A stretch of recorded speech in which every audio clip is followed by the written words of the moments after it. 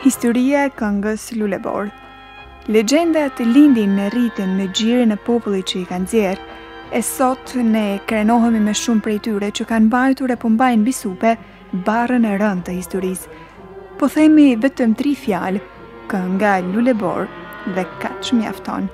Të gjithë e dimë dhe të gjithë ia njohim melodinë dhe fjalët e kësaj kënge, po shumë pak për të mos thënë askush nuk e mban mend kush e ka shkruar, por sot do ta njohim më mirë, jo vetëm autorin e saj, por edhe historinë e kësaj kënge. Rasti i kompozitorit Simon Gjoni është më kuptimploti i marrëdhënies së krijuesit me veprën dhe vetë veprës me kohën. Ai ka një galeri të pasur përvoje të ndjenjës krijuese, por ajo që e ka bërë atë kaq të njohur është kënga e njohur shkodrane Lulebor. Lule Bor është një këngë të cilën një jetëgjatësi e pakundërshtueshme artistike e ka shpallur atë si një himn të muzikës lirike shqiptare. Në morinë e përgjigjeve për autorësinë e kësaj kënge, qëndron pikërisht fshehtësia e magjisë dhe notës së paarritshme që ajo ka të ngjeshur brenda saj dhe që lidhet vetëm me një emër, kompozitorin dhe dirigjentin e mirënjohur Simon Gjoni.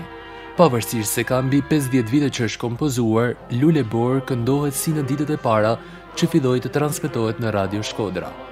I lindur në qytetin e Shkodrës, talenti i Simon Gjonit spikati që kur ishte i ri dhe kur kontribuoi si drejtues i shumë formacioneve të ndryshme orkestrale dhe vokale të qytetit, me një sensibilitet dhe origjinalitet të dukshëm në kompozicion, Ai krijoi në vitet një mijë e nëntëqind e dyzet e gjashtë, një mijë e nëntëqind e dyzet e shtatë një seri këngësh të paharruara që shquhen për ndjeshmërinë e tyre, sa poetike, aq edhe të sinqertë, të figurshme dhe fisnike si lulebor, sy larushes, sytë e tu si drita, e tjera.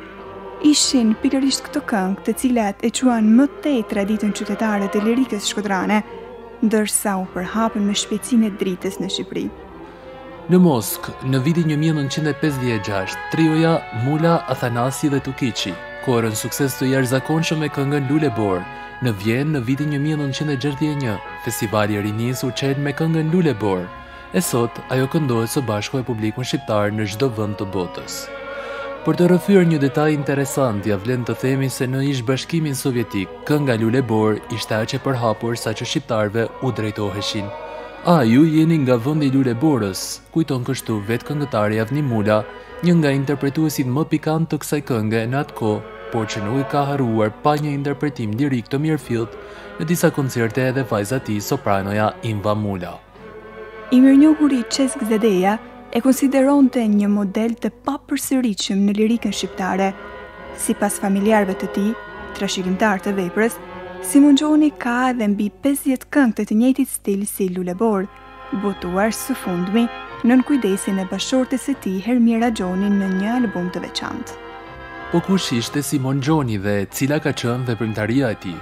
Studimet e larta Simon Gjoni i kreu në Akademinë e Lartë Muzikore të Pragës, në klasën e dirigjimit simfonik. Në vitin një mijë e nëntëqind e pesëdhjetë e katër, ai ishte pjesëmarrës si kompozitor në Festivalin Ndërkombëtar të Muzikës së bashku me kolosë botërorë të kohës.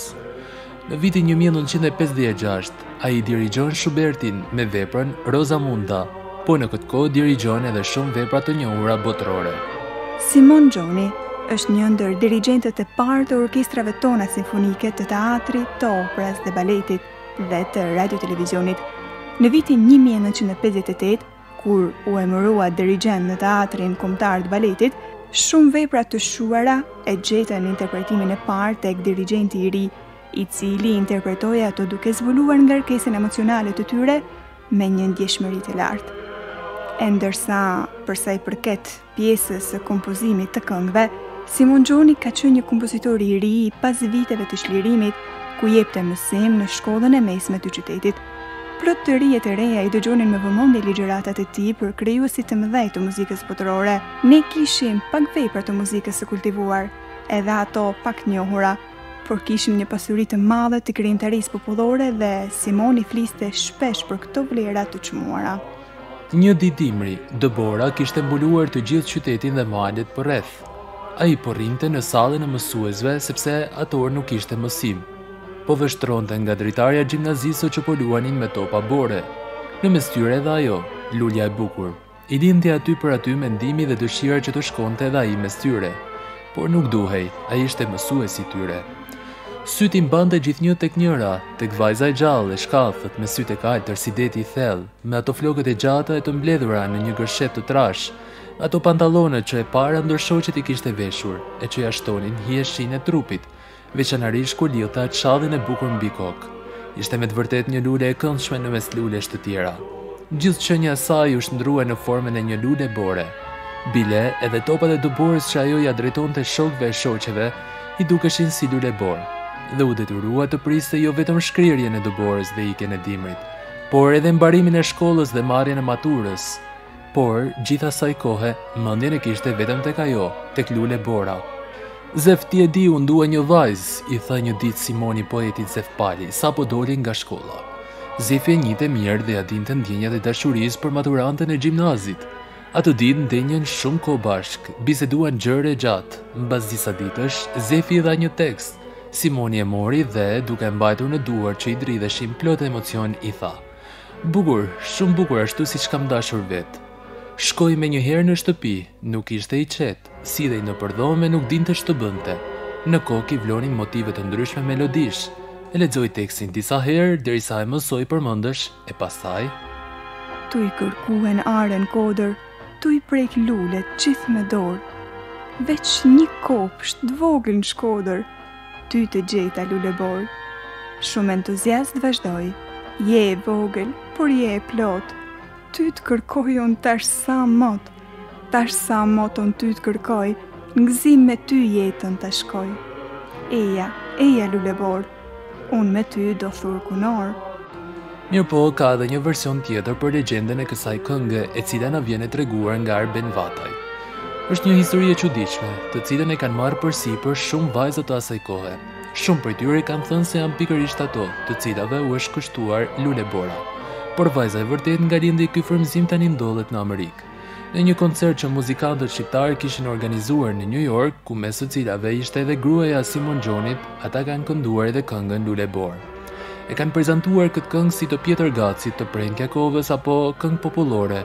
Megjithatë kjo këngë është e Simonit, thotë me bindje gruaja e tij, Hermira Gjoni. Mbaj mend, thotë ajo, që këtë këngë e kemi kënduar shpesh në New York në shumë koncerte. Dhe kur e kemi kënduar në një koncert, erdhën e na uruan shumë njerëz. Mes tyre njëra vjen dhe na thotë, "Unë jam Lulebora." U habitëm dhe u mblodhëm të gjithë përreth duke e pyetur. Ajo na tregoi historinë e krijimit të kësaj kënge dhe na rrëfeu. Unë atëherë kam qenë gazetare dhe punoja në gazetën Bashkimi. Isha vajzë e re, 19 vjeçe. Shkova në Shkodër me një shërbim. Dikush më kishte dhënë një pako për Zef Palin. Atje ku shkova ta takoja në shtëpinë e kulturës, ishte një kopsht i bukur dhe u ulëm të pinim kafe. Ndërsa unë i flisja për letërsinë, për gazetarinë e tjerë, ai nxori një letër nga xhepi dhe ndërsa unë vazhdoja të flisja, ai çuditërisht shkruante. Kur kishte mbaruar, ma drejton letrën mua dhe më thotë, Këtë e kam për ty. Pastaj, këputi një tufë me luleborë dhe m'i zgjati mua. U ngritëm për të ikur. Unë duhej të kthehesha në Tiranë, por unë nuk e dije që fati kishte caktuar që unë të jetoja atje dhe të takoja bashkëshortin tim atë ditë. I thashë, po këto lulet, ku t'i çoj? Hajde, më tha, tek ime më se është e sëmurë dhe jepja asaj lulet. Shkova dhe lulet ia dhashë nënës së tij. Unë më pas u ktheva në Tiranë dhe vazhdova me përditshmërinë time. Ndërsa pas katër ditëve dëgjoj në altoparlantin e gazetës Bashkimi, nga Radio Shkodra do të dëgjoni këngën Lule Borë. Kështu rrëfeu vajza Florenca Pali historinë e vargjeve të Lule Borës.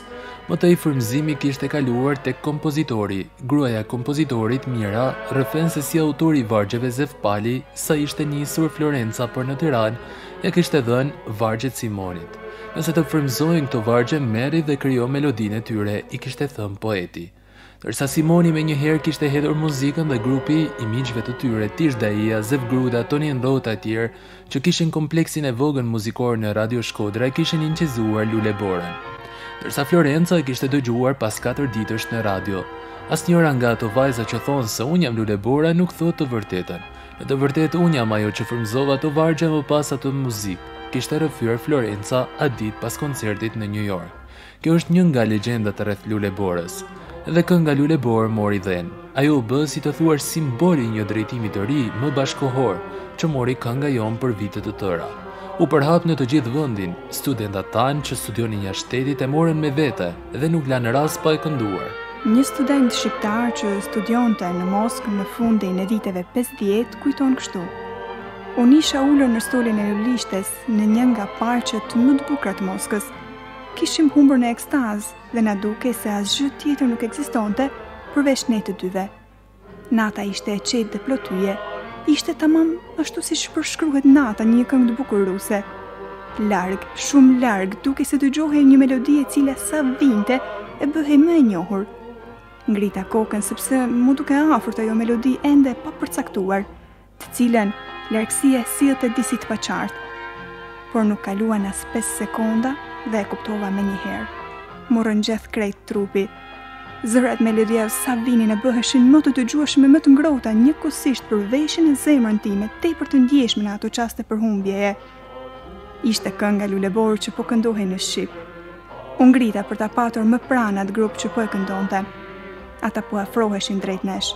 Ashtu në mënyrë të pavetëdijshme dhe unë eca drejt tyre pa i thënë asnjë fjalë personit që kisha pranë. Eca drejt tyre dhe vura re se një grup studentësh nga vende të ndryshme të botës po këndonin në gjuhën time. E ndjeva veten krenar si asnjëherë në jetën time dhe u bashkova me to, duke kënduar, eja, eja luleborë, se me ty do të thur kunorë. Kjo ishte historia e njërës prej këngëve që ka vendosur autori në libër i cili quhet